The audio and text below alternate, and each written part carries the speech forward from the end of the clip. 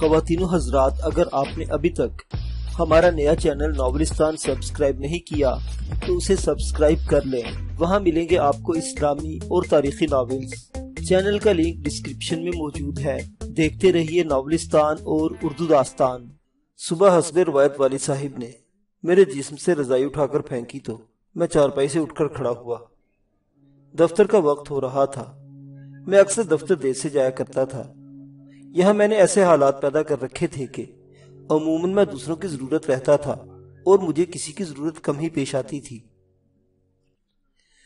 صاحب بہادر کے سیکٹری تک میری رسائی تھی، جس کے لیے میں کوئی نہ کوئی خدمت کا بہانہ پیدا کیے رکھتا تھا۔ وہ بیچارہ شریف آدمی تھا اور میرے والد صاحب کی وجہ سے خام خواہ میری بھی عزت کرنے لگا تھا۔ تیرا باپ ریٹائر ہو چکا ہے، لیکن تو ابھی نوکری کر رہا ہے۔ والد صاحب نے تصویر پھیرتے ہوئے کہا میں خاموشی سے اٹھا اور کمرے کے کونے میں دھرے حمام سے پانی اپنے منہ پر مارا، دانت صاف کیے، وہیں بیٹھے بیٹھے شیو کی اور اوپر والی منزل پر ٹوائلٹ کیا۔ رات کے واقعات فلم کی طرح میرے ذہن میں ابھی تک گردش کر رہے تھے۔ پانچ ہزار روپے میرے کپڑوں میں محفوظ تھے۔ میں جانتا تھا اگر اپنی تنخواہ سے ایک روپے بھی زائد گھر میں دیا تو والد صاحب مجھے گھر سے نکال دیں گے۔ اب مجھے حرام کی آمدن کا کوئی جواز پیدا کرنا تھا۔ ایک نوکری میں نے پارٹ ٹائم بھی کر لی ہے۔ میں نے ناشتہ کرتے والد صاحب سے کہا، جو اخبار کے مطالعے میں غرق تھے۔ شکر، الحمدللہ، کہ تیرے منہ سے بھی کوئی اچھی بات نہیں کی انہوں نے اخبار سے نظریں ہٹائے بغیر کہا، کمیشن کا کام ہے۔ میرے ایک جاننے والے نے فیکٹری لگا رکھی ہے۔ جتنے آرڈرز مل جایا کریں گے، اتنا کمیشن مل جایا کرے گا۔ بہرحال میری تنخواہ سے زیادہ ہی آمدن ہوگی، انشاءاللہ۔ میں نے مزید جھوٹ بولا۔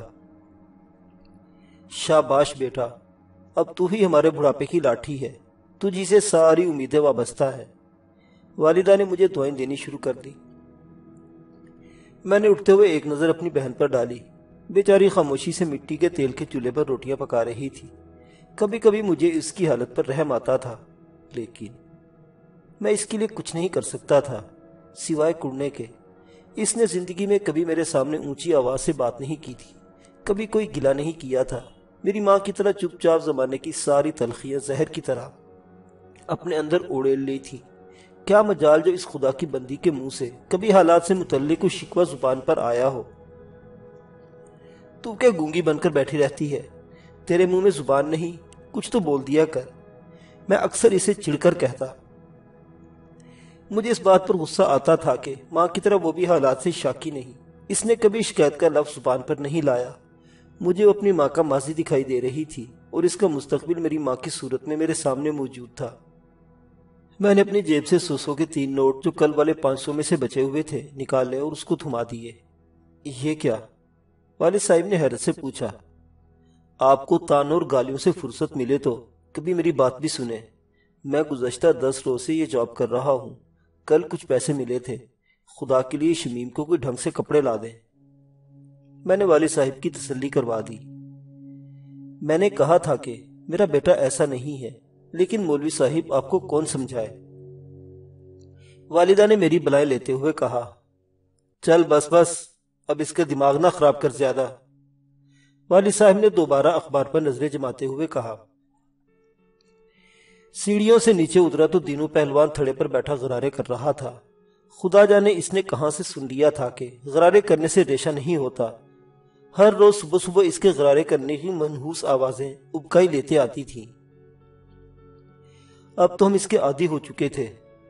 سنا باؤ، کیا حال ہے؟ آج کل ہمارے پاس نہیں بیٹھتے۔ کیا چکر ہے؟ اوے کوئی اور چکر تو نہیں چل رہا۔ اس نے بے شرموں کی طرح اپنی ایک آگ دباتے ہوئے استفامیہ نظروں سے میری طرف دیکھا۔ نہیں پہلوان جی بس وقت ہی نہیں ملتا۔ ایک نوکری سے گزارا کہاں چلتا ہے؟ شام کو بھی نوکری کر لی ہے۔ میں نے جان چھڑانے کے لیے کہا اور آگے نکلنا چاہا، لیکن اس موزی نے کھڑے ہو کر میرا راستہ روک دیا شہزادے، آج کل سائیں جی ہمارے ہاں آئے ہوئے ہیں۔ اس روز تو بڑے نوٹ دے رہا تھا، پھر غائب ہو گیا۔ اوے بڑے اللہ والے بھائی ہے خلق خدا بہت فائدہ اٹھا رہی ہے۔ وہ مائی رسولہ نہیں تھی؟ دیکھ کر اس کی دونوں بیٹیوں کے لیے بر مل گئے ہیں سائی جی کی دعاؤں کی برکت ہے۔ تم تو جانتے ہو، دونوں باری باری رنگے ہاتھوں پکڑی جا چکی ہیں۔ لیکن سائی جی نے ایسا علم پڑھا کہ اندھا ہی کر دیا۔ ایک کا خامد دبئی میں ڈرائیور ہے اور دوسری کا دکاندار۔ دونوں کا ناگا نہ پیچھا موجے کریں گی۔ میں تو کہتا ہوں، شہزادے، تم بھی سائی جی سے کوئی فائدہ اٹھا لو۔ ایسا عمل کریں گے کہ تمہارے افسر ملازموں کی طرح تمہارے پیچھے پیچھے پھریں گے۔ وہ نہ جانے اور کیا کیا بکواس کرتا۔ جب اچانک کمرے سے گڈی سائی کی، بلند آواز سنائی دی۔ دینو پہلوان، جلدی کرو بھائی۔ ہم نے بڑی سرکار کی عرص پر جانا ہے۔ بہت لوگ انتظار کر رہے ہوں گے وہاں۔ اچھا جی سائی جی جو حکم بادشاہ ہو، مال کو حاضر ہوا۔ دنوں نے میری جان چھوڑی اور سامنے کمرے میں گھس کر اپنی بیٹیوں کو ننگی گالیاں نکالنے لگا کہ ابھی تک انہوں نے ناشتہ تیار کیوں نہیں کروایا۔ دفتر پہنچ کر حسب معمول حاضری لگانے کے بعد سیکٹری صاحب کی حضور حاضری تھی۔ میں نے بڑے احترام سے سلام کیا اور والد صاحب قبلہ کا سلام پہنچایا۔ یہ میری نارمل پریکٹس تھی۔ میں اکثر دن میں ایک دو مرتبہ انہیں اس بات کا احساس دلاتا رہتا تھا کہ میں مولوی صاحب کا صاحب زیادہ ہوں اور میرا خصوصی خیال رکھنا ان کا فرض ہے۔ بیٹا، کوئی تکلیف تو نہیں ہو رہی؟ انہوں نے والد صاحب کی خیریت دریافت کرنے کے بعد پوچھا، نو سر، آپ کے ہوتے ہوئے بھلا مجھے؟ میں نے بڑی ان کی ساری سی تقریباً شرماتے ہوئے کہا، کوئی مسئلہ ہو تو بیٹا مجھے ضرور بتانا۔ اللہ تعالیٰ اپنی صحت عطا فرمائے۔ میں نے تمہارے والد صاحب سے بہت کچھ سیکھا ہے۔ انہوں نے سینکڑوں مرتبہ کہا ہوا فکرہ دہرایا اور میں سلام کر کے اپنی میز کی طرف واپس لوٹ گیا۔ کیا بات ہے حنیف صاحب؟ کچھ زیادہ ہی لیٹ ہونے لگے ہیں آپ۔ میرے انچارج قاضی صاحب نے اپنی ناک پر دھری آنک کے اوپر سے دیکھتے ہوئے کہا، قاضی صاحب، آپ میرے بجائے سیکٹری صاحب سے پوچھ لیا کریں۔ مجھے کوئی شوق نہیں دیر سے آنے کا۔ صاحب کا کام نہ کیا کروں تو فرمائیے۔ اور بیچارے قاضی صاحب کا منہ لٹک کر رہ گیا۔ بڑا ٹیکا ہے بھائی اپنے شہزادے کا۔ میرے ہمکار نے بیٹھنے پر کہا نہیں یار، اللہ کی دین ہے۔ افسر مہربان تو بندہ پہلوان۔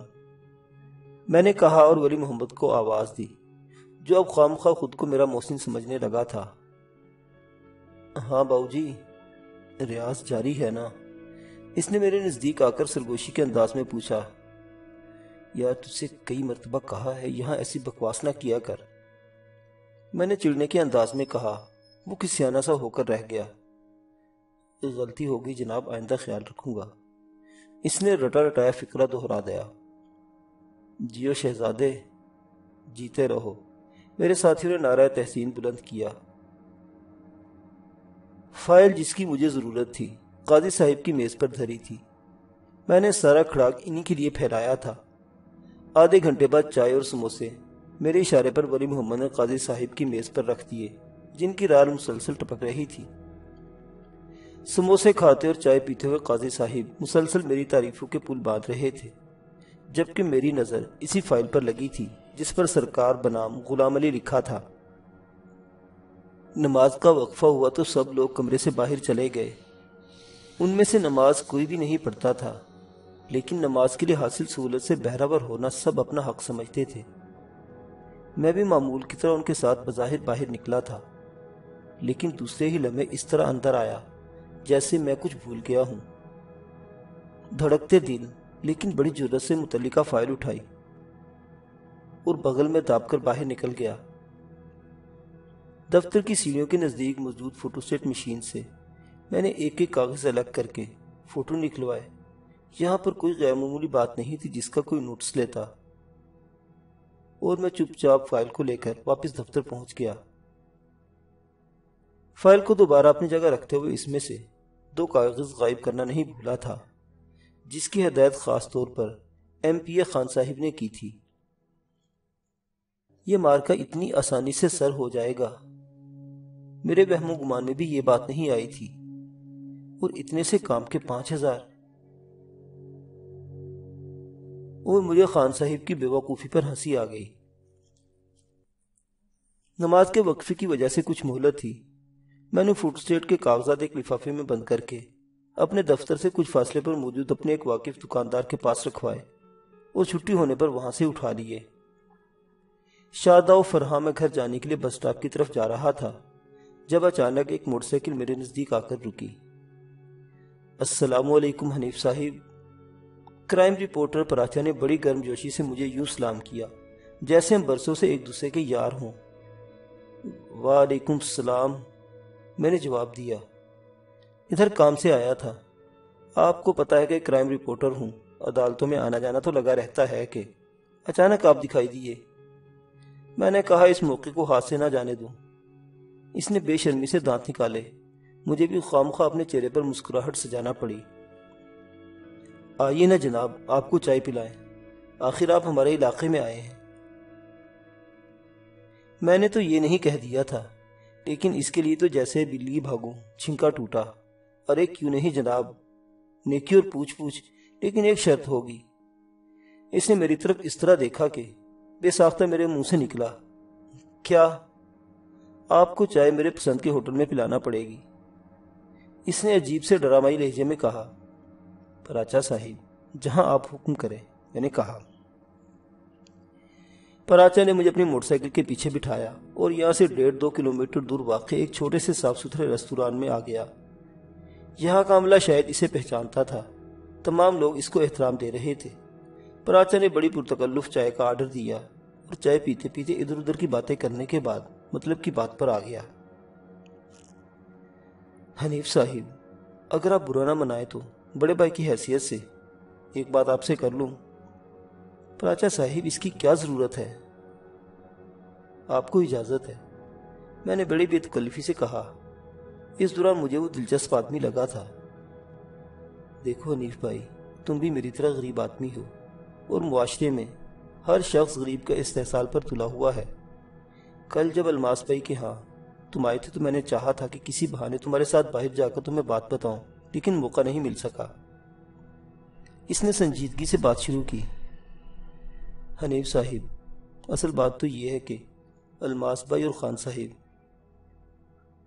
صرف طوائف اور ایم پی اے نہیں، بلکہ دونوں اس ملک کے انڈر ورلڈ میں بڑی شخصیت سمجھے جاتے ہیں۔ اس شہر میں ڈرگ کا پچاس فیصد سے زیادہ بزنس ایم پی اے صاحب کا ہے اور الماس بھائی ان کی برابر کی حصہ دار ہے۔ میں ایک ذمہ دار اخبار نویس ہوں۔ اس بات میں کوئی شک نہیں کہ میں بھی ایک کرندے کی طرح ان کے ساتھ کام کر رہا ہوں، لیکن میں اپنی ڈھنگ کی قیمت وصول کرتا ہوں۔ جس کام کو انہوں نے تمہیں پانچ ہزار دیے ہیں، میں نے اس کے پچاس ہزار روپے طلب کیے تھے، کیونکہ انہیں اس چھوٹے سے کام سے پانچ لاکھ سے زیادہ کا فائدہ ہوتا۔ وہ بولتا جا رہا تھا، اور میں ہنمنکوں کی طرح اس کے منہ کی طرف دیکھ رہا تھا۔ میرے ذہن میں تب ایک اور بات آئی تھی کہ شاید پراچا میری ضرورت سے زیادہ عزت سے چڑ گیا ہے اور مجھے ورغلانا چاہتا ہے۔ تب میرا ذہن اس سے زیادہ کیا سوچ سکتا تھا؟ پراچا صاحب، آپ کا بہت شکریہ۔ میں آئندہ اس بات کا خیال رکھوں گا۔ میں نے بھی اس کا دل توڑنا مناسب نہ جانا۔ جس دفتر میں کام کر رہا تھا، وہاں رہتے ہوئے مجھے احساس تھا کہ ایک اخبار کے کرائم رپورٹر کے معاشرے میں کیا حیثیت اور اہمیت ہے۔ یہ لوگ ایسے کام کر سکتے تھے جن کا بڑے بڑے افسروں سے بھی نہیں کیا جا سکتا۔ میں پراچا کو ہاتھ سے گوانا نہیں چاہتا تھا۔ ایک بات کا علم البتہ مجھے پہلے سے تھا کہ ایم پی اے خان صاحب کوئی عام قسم کا ایم پی اے نہیں ہے۔ واقعی اس کا ڈرگ کا دھندا اس شہر میں چاروں طرف پھیلا ہوا تھا۔ اور یہ بھی کہ الماس میں حکمران پارٹی کی اس علاقے کی چھوٹی موٹی عہدے دار تھی۔ لیکن یہ دونوں باتیں بھی تو میرے حق میں بہتر نہیں۔ میں پراچا کی ہاں میں ہاں ملاتا رہا اور مجھے اشارے کنائیے سے ان دونوں کے کالے کرتوت سناتا رہا۔ یوں لگتا تھا جیسے وہ ان لوگوں کو پھنسا ہوا ہے۔ اور ایک دوسرے سے نفرت کے باوجود لوگ ایک دوسرے کو چھوڑ نہیں سکتے تھے۔ پراچا نے مجھے دوستی کی پیشکش کی اور میں نے صد کے دل سے قبول کر لی۔ اس نے یہ بھی نہیں پوچھا کہ میرے پاس کس طرح کے کاغذات پکڑے ہوئے ہیں۔ کافی دیر ادھر ادھر کی باتیں کرنے کے بعد اس نے اچانک ہی پوچھ لیا۔ کام تو ہو گیا ہوگا، شاید یہی فائل ہے۔ اس نے بڑا نفسیاتی حربہ آزمایا تھا۔ نہیں۔ میں نے بڑے اعتماد سے جھوٹ بولا۔ کیا مطلب؟ پراچا نے حیرانگی سے پوچھا۔ پراچا صاحب، یہ اتنے آسان کام نہیں ہوتے۔ آپ خود سمجھدار آدمی ہیں۔ اس طرح فائلیں نہیں ملا کرتی۔ میں نے بڑی سنجیدگی سے کہا۔ حنیف صاحب، مجھے تو علم ہے اس بات کا۔ مجھے اگر وہ یہ کام کہتے تو کون کافر کا بچہ پچاس ہزار کے کم پیسہ لیتا۔ اس نے بڑی گرم جوشی سے میری ہاں میں ہاں ملائی۔ تھوڑی دیر تک باتیں کرنے کے بعد ہم نے اپنے اپنے دفتر کے فون نمبروں کا تبادلہ کیا اور اپنی اپنی راہ لی۔ پراچا مجھے اپنے گھر کے بازار تک چھوڑنے آیا تھا۔ میں نے شکریہ کہہ کر اسے یہیں سے رخصت کر دیا۔ اگر وہ میرا گھر دیکھ لیتا تو کوئی قیامت نہیں ٹوٹ جاتی۔ لیکن اس مرحلے پر میں خود اسے گھر لے جانا نہیں چاہتا تھا۔ والد صاحب عموماً اس وقت گھر میں ہوتے تھے۔ اگر ان کی نظر ان کاغذات پر پڑ جاتی تو وہ قیامت لے آتے اور میری وہ درگت بنتی کہ خدا کی پناہ۔ میں نے بھی مناسب جانا کہ سیدھا الماس بھائی کے پاس ہی جاؤں اور اسے یہ خوشخبری سناؤں۔ یہ بھی تو ممکن ہے کہ نوری سے وہاں ملاقات ہو جاتی۔ یہ سوچ کر میں نے چند لمحے وہاں توقف کیا اور جب پراچا اپنی موٹر سائیکل پر آگے نکل گیا تو میں بھی دوسرے راستے پر گامزن ہو گیا۔ ایک مرتبہ پھر لمبا چکر کاٹ کر بازار حسن کی طرف جا رہا تھا۔ میری کوشش یہی تھی کہ اس دوران کسی شناسا چہرے سے بچا رہوں۔ اپنی اس کوشش میں میں کامیاب ہو کر بلاخر ڈیرے تک پہنچ گیا۔ دروازے پر دستک دی تو اندر سے آواز آئی۔ آ جاؤ، کون ہے؟ میں دروازہ کھول کر اندر داخل ہوا اور میرا دل دھک سے رہ گیا۔ نوری کمرے کی صفائی کر رہی تھی۔ آپ اس وقت یہاں؟ اس نے حیرانگی سے پوچھا۔ ہاں مجھے علم تھا نوری۔ تم یہاں ہوگی۔ بساختہ میرے منہ سے نکل گیا۔ اوئی اللہ، آپ تو بڑے وہ ہیں۔ آپ کو کیسے پتا چلا؟ اس نے بڑے نخرے سے پوچھا۔ اس سے پہلے کہ میں اس کے سوال کا جواب دیتا ملکہ دروازے کا پردہ ہٹا اور دوسرے ہی لمحے الماس بھائی میرے سامنے موجود تھی۔ آئیے آئیے حنیف صاحب۔ دھن بھاگ ہمارے۔ اس نے میرے ہاتھ میں بڑا سا لفافہ دیکھ کر اور اس کی باتیں کھلی جا رہی تھی اس درمیان اس کی گھاگ نظروں نے یقیناً میرے پتے کے پنجر میں ماہی بے آپ کی طرح تڑپتے دل کو دیکھ لیا ہوگا۔ تبھی اس نے نوری سے کہا تھا، بیٹھ جا نوری، ہر وقت کام پر نہ لگی رہا کر۔ اچھا میں ایک منٹ میں آئی۔ وے می دے وہ جان بوجھ کر اپنے نوکر کو پکارتی دوسرے کمرے میں چلی گئی۔ میں جان گیا کہ اس نے جان بوجھ کر ہمیں تنہائی میں ملنے کا موقع دیا ہے۔ بھلا نوری جیسی میری کمزوری اس کے ہاتھ میں تھی اور وہ مجھے بلیک میل نہ کرتی۔ نوری شاید یہاں کے ماحول کو سمجھتی تھی۔ وہ واقعی صوفے پر بیٹھ گئی تھی۔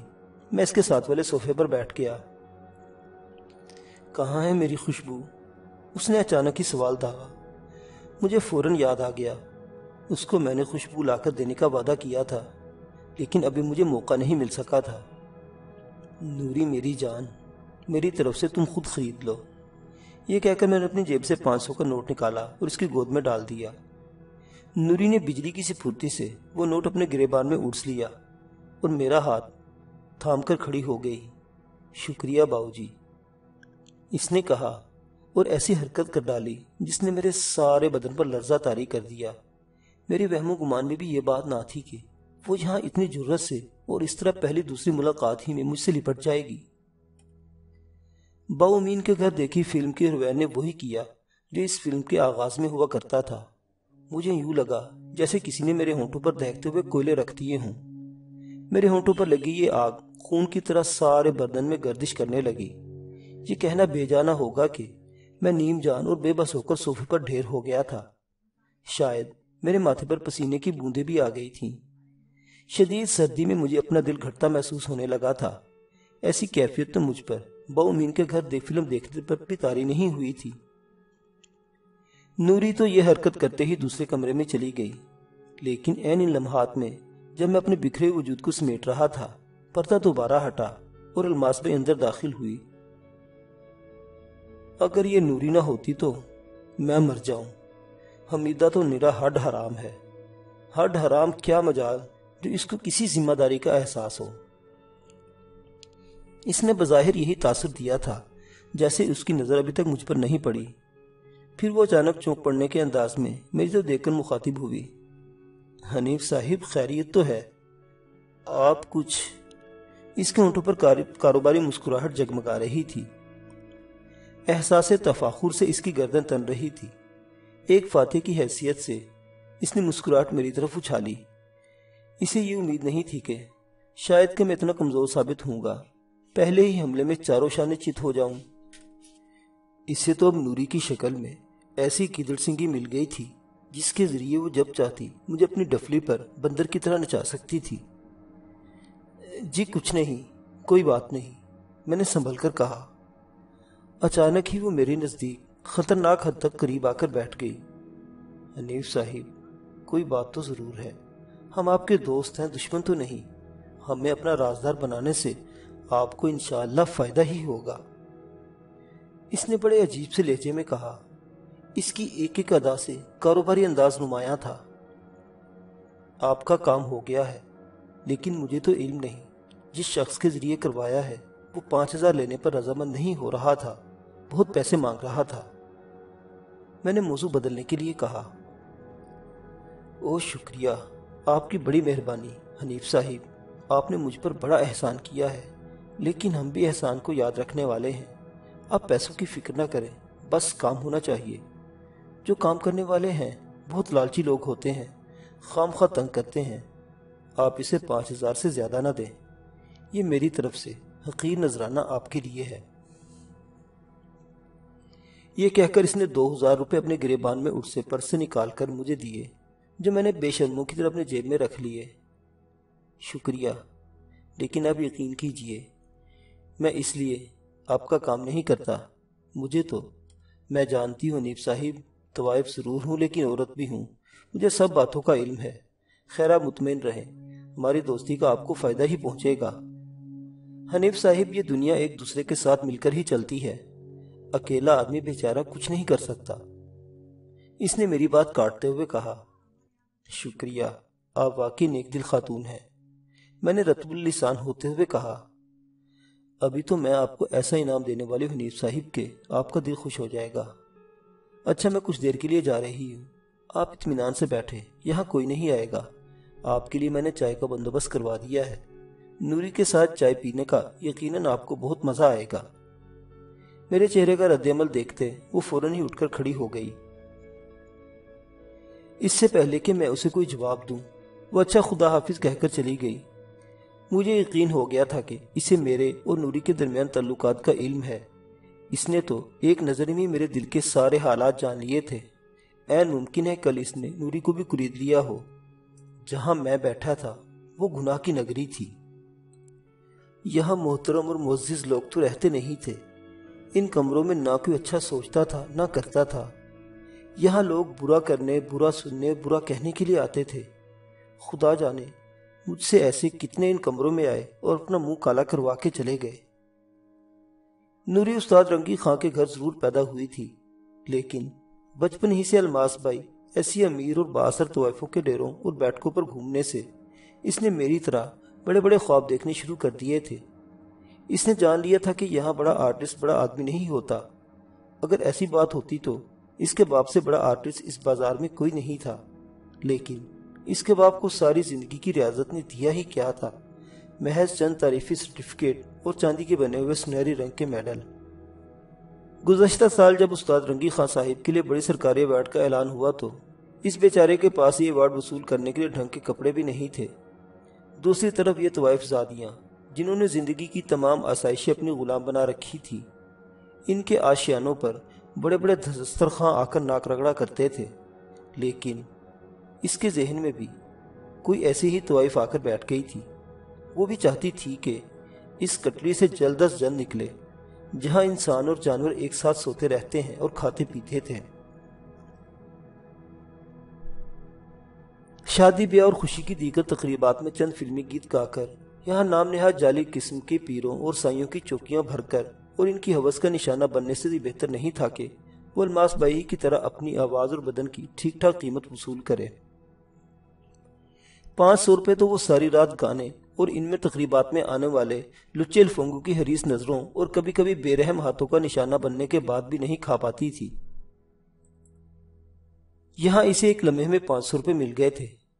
مجھ جیسا بے وقوف عاشق اسے کہاں مل سکتا تھا؟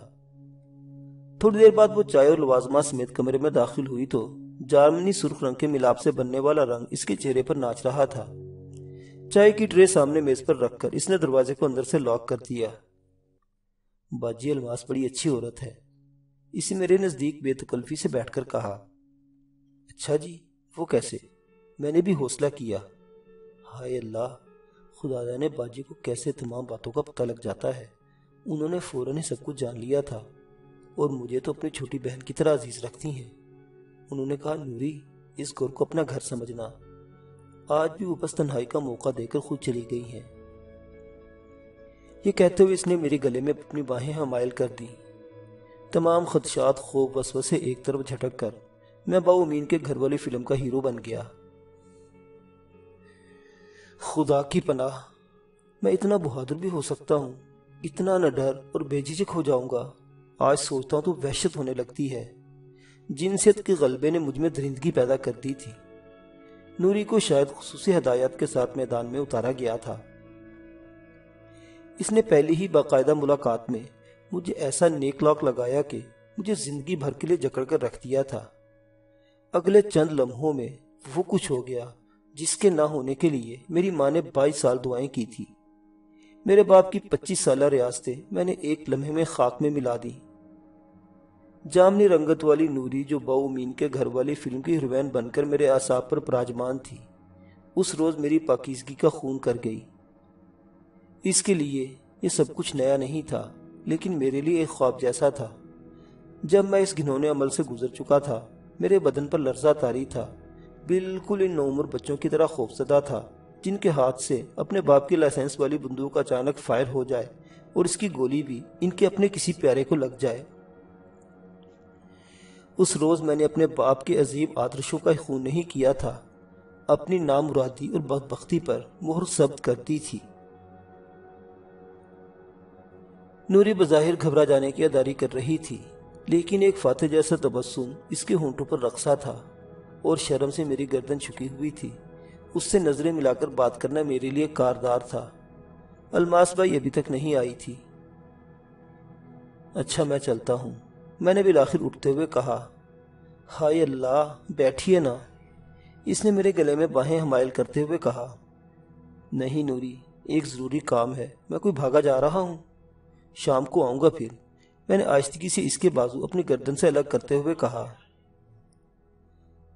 عجیب بات تھی کہ پہلی مرتبہ گناہ کی اس دلدل میں چھلانگ لگانے کے بعد مجھ پر گھبراہٹ تاری ہو رہی تھی۔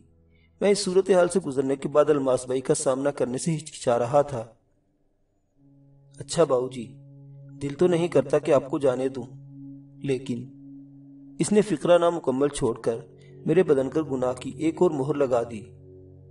میں بظاہر کیف و لذات کی گہرے پانیوں میں تیرتا، ڈیرے کی سیڑھیوں سے اتر رہا تھا۔ میرے بدن کی حالت تب ان نشہ بازوں جیسی تھی، جنہیں نشی کی حالت میں قریب المرگ ہونے کے بعد اچانک مطلوبہ نشہ مل گیا ہو۔ نوری کی پہلی جھلک دیکھنے کے بعد سے میرے دل و دماغ میں جو آگ سلگ رہی تھی، جسے باؤمین کے گھر دیکھنے والی فلم نے شولے بنا دیا تھا، نوری کے ساتھ ملاب کے بعد جیسے ان دہکتے علاؤ پر کسی نے ٹھنڈی برف رکھ دی۔ ایک سرمستی کے عالم میں رقصہ میں گھر پہنچا تھا۔ میری جیب نوٹوں سے بھری تھی، دل و دماغ پر نشہ تاری تھا۔ اس روز پھر مجھ پر گناہ نے غلبہ کیا۔ شیطان نے مجھے بہکایا اور مجھے اپنے اباپ پر غصہ آیا۔ اس کی ساری زندگی کی ایمانداری اسے یہ کچھ نہ دے سکی تھی جو میرے چند منٹ نے لی تھی۔ میرے اندر بیٹھے شیطان نے مجھے گمراہ کیا۔ کتنا کم ظرف ہو گیا تھا میں، کتنا گر گیا تھا میں، ایسا نیچ ہو گیا تھا میں۔ کاش میری ماں کی کوئی دعا تو تب قبول ہو جاتی۔ کاش۔